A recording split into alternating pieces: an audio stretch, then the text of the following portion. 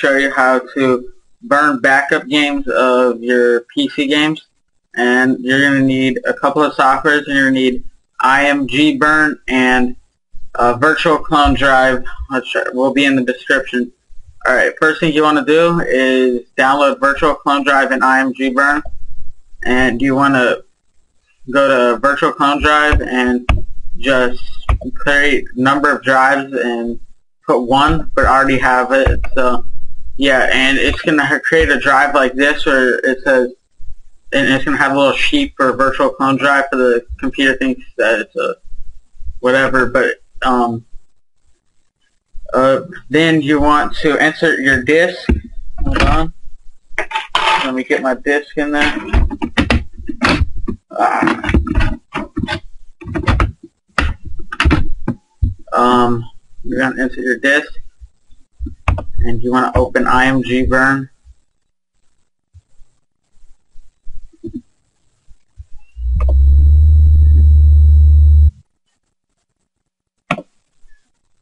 And just close that auto run if you if you have it. Then you want to create a one a folder called whatever you want to call it, just like game two. I don't know. Um, ah, shit. Alright, never mind. Then you select the source. No. Oh, my bad, I, I kind of screwed up. But you go to OIMG Burn.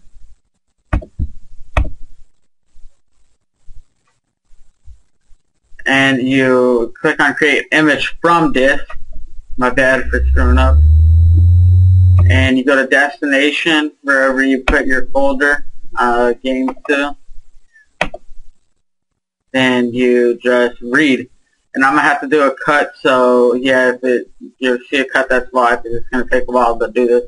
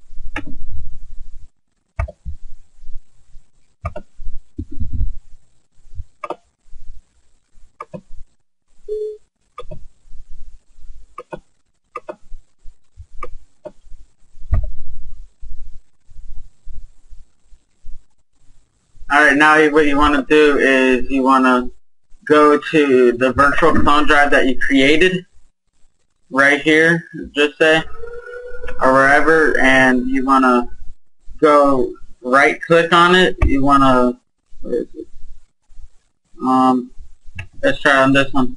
What you want to do is it says virtual clone drive, and you go to mount, and it should be in the folder that you did, and you want to, like, hold on, find where you put it and double click on it and it should mount the image file.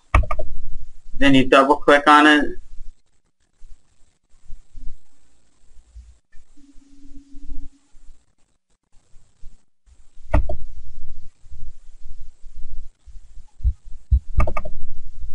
and it should run the game. Actually, it should run the game. Uh, you should install it and whatever you want to do to it. Uh,